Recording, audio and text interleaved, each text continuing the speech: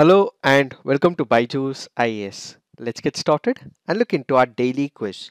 Let's look into the first question. Consider the following statements with respect to Indian flapshell turtle. It is only found in India, Bangladesh and Pakistan. Its IUCN status is vulnerable. These turtles are omnivorous. Which of the above statements is are correct? The answer to this is 2 and 3 only. Why have we taken this practice question?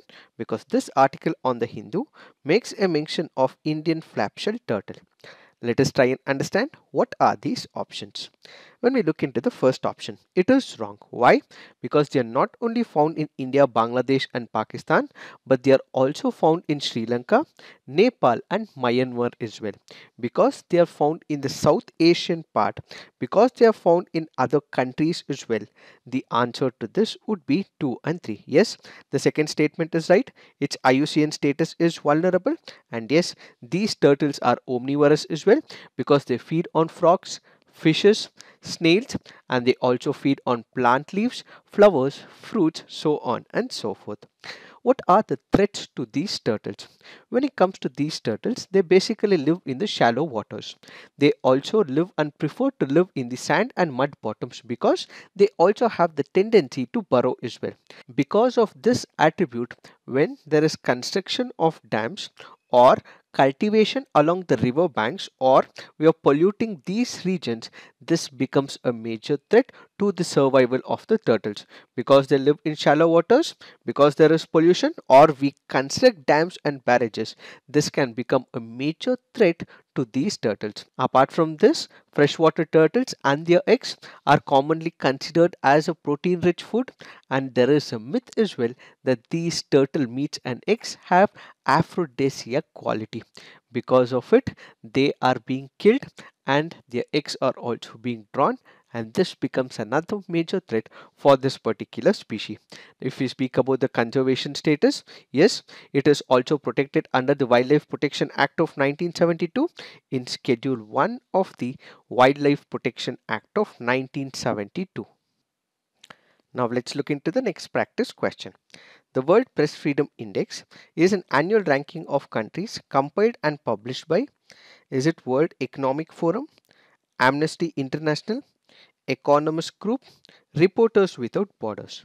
The answer to this is Reporters Without Borders. Why have we taken this practice question? Because this article here makes a mention of World Press Freedom Index. The World Press Freedom Index is published by a foreign non-governmental organization called as Reporters Without Borders. So remember, this is one of the important indexes which helps us understand or makes an assessment about the press freedom in a particular country. What would happen? There will be questions prepared by this non-governmental organizations. These questions will be asked to the people.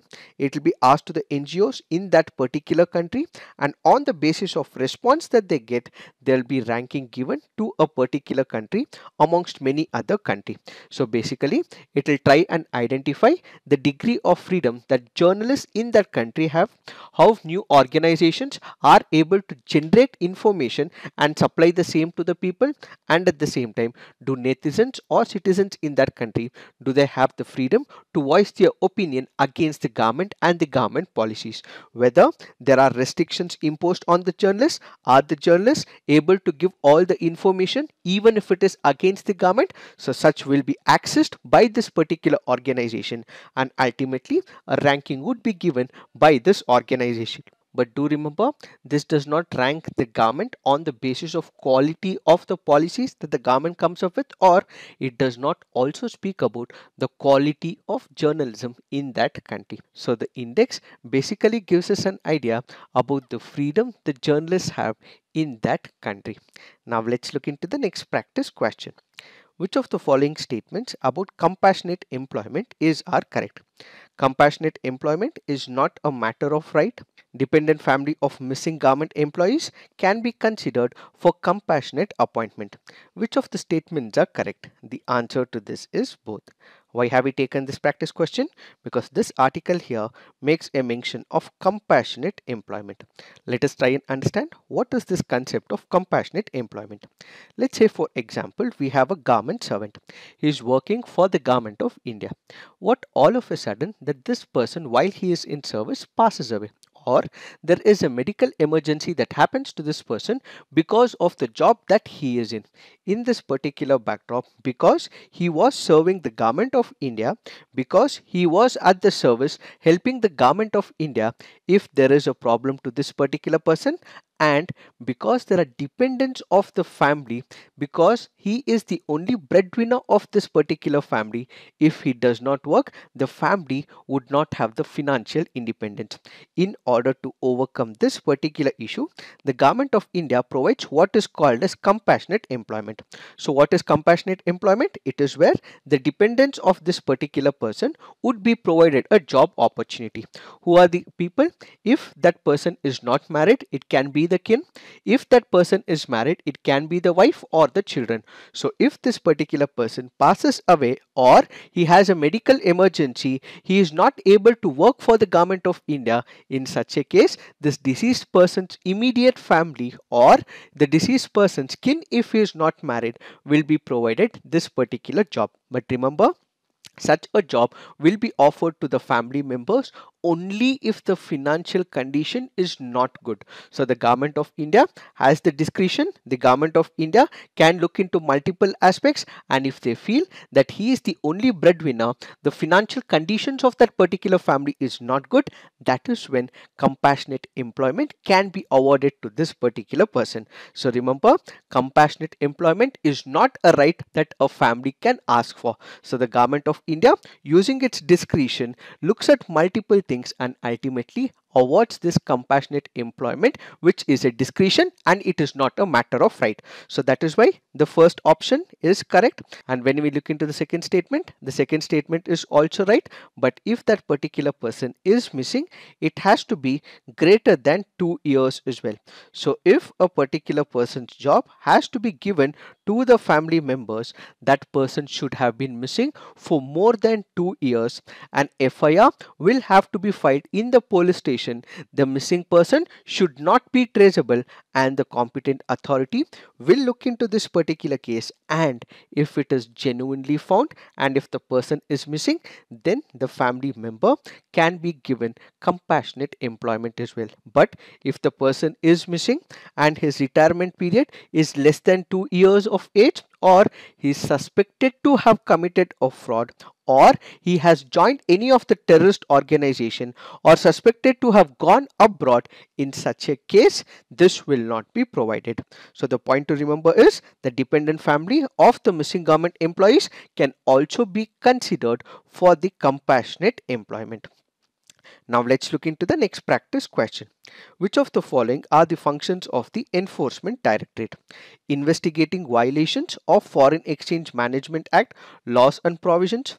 Investigating offences of Prevention of Money Laundering Act 2002 laws and provisions processing cases of fugitives from India under the Fugitive Economic Offenders Act of 2018. ED is also India's officially designated single point of contact for liaison with the Interpol. Which of them are the functions of the Enforcement Directorate? The answer to this is 1, 2 and 3 only. Why have we taken this practice question? Because this article here makes a mention of Enforcement Directorate. What is the Enforcement Directorate? It is a law enforcement and intelligence agency responsible for enforcing economic laws fighting economic crime in India. Where is it headquartered? It is headquartered in Delhi. This can be very important from preliminary examination point of view and it is administered by the Department of Revenue under the Ministry of Finance. It is headed by Director of Enforcement who is generally an IRS officer. The point that we have to focus is if you look into the fourth option, ED is not India's officially designated single point of contact for liaison with the Interpol. Why?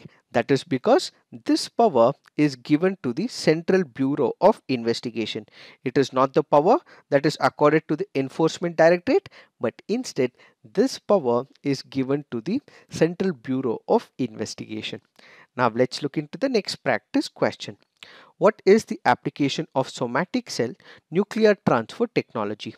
Production of biolarvicides, manufacture of biodegradable plastics, reproductive cloning of animals, production of organisms free of disease.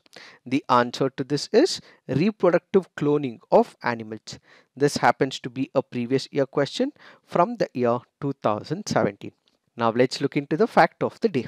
The fact of the day for today's discussion is Belagavi border dispute. Where is the Belagavi? Belagavi is a district in the state of Karnataka. It happens to be a border district between the states of Maharashtra and Karnataka. Belagavi is also called by the name Belgaum. Previously it was called as Belgaum, but the state of Karnataka changed the name of Belgaum to the district of Belagavi. This borders Maharashtra's Kolhapur district. It comprises both the Kannada and the Marathi speaking people and which is where the primary dispute is whether Belagavi which is currently in the state of Karnataka should it be merged with Maharashtra which is the call of the Maharashtra Ekikaran Samiti and the political parties in Maharashtra. So this Belagavi which is currently a district in Karnataka is a border dispute between the states of Maharashtra and Karnataka. When we look into the colonial times, some of the districts which are now part of Karnataka was part of the erstwhile Bombay Presidency. Let's say for example Vijayapura, Belagavi, Dharwad and Uttara Kannada were under the erstwhile Bombay Presidency. This continued until 1956 but in the year 1956 what we had is the State Reorganization Act of 1956. According to the State Reorganization Act, some of the districts which were under erstwhile Bombay Presidency was added into the part of Karnataka. So basically what happened on the basis of the 1881 census which identified that 64.39% of the population of Belagavi as Kannada speaking and 26.04% as Marathi speaking because the majority were from the Kannada speaking section which is why Belagavi was added as the district of Karnataka. So the State Reorganization Act ensures that Belagavi becomes part of Karnataka. This is where issues were raised by Maharashtra. Why? Because according to Maharashtra, they personally believe that there are more number of Mahar Marathi speaking people in the Belagavi district rather than Kannada speaking people. So they go against this particular initiative and they also voice their opinion with the government of India back in the year 1957. They petition the government of India. They also speak to the government of India and after making multiple consultations, the government of India appoints one of the committee called as the Mahajan Commission. So the Union government back in the year 1966 sets up what is called as the Mahajan Commission to look into the border disputes between the state of Karnataka and Maharashtra. So the commission was headed by former Chief Justice of India, Meherchand Mahajan. He looks into multiple issues. He speaks to the people in this particular area, receives multiple memorandums after making multiple consultations with people in Karnataka and Maharashtra. He finally says that about 264 Marathi dominant villages will have to be shifted from Karnataka to Maharashtra. So those areas which are currently in the state of Karnataka in Belagavi, they will have to be given to Maharashtra, says this Mahajan Commission. And at the same time, it insisted that Karnataka would retain Belagavi and 247 villages. So the major city of Belagavi city will be with Karnataka and 247 villages will be with Karnataka, says the Mahajan Commission. So the Mahajan Commission was placed in front of the parliament. The views of Maharashtra government and Karnataka government was taken into picture. So accordingly, Karnataka government did accept this particular proposal, but Maharashtra government back then rejects this particular proposal and even after this particular report was laid in front of the parliament, the union government has yet not implemented the Mahajan Commission report. So basically, we have the Maharashtra government which did not like or it did not want to implement the Mahajan Commission report, which is why it heads to the Supreme Court of India. So the Maharashtra government approached the Supreme Court of India to settle this particular dispute under Article 131 of the Indian Constitution.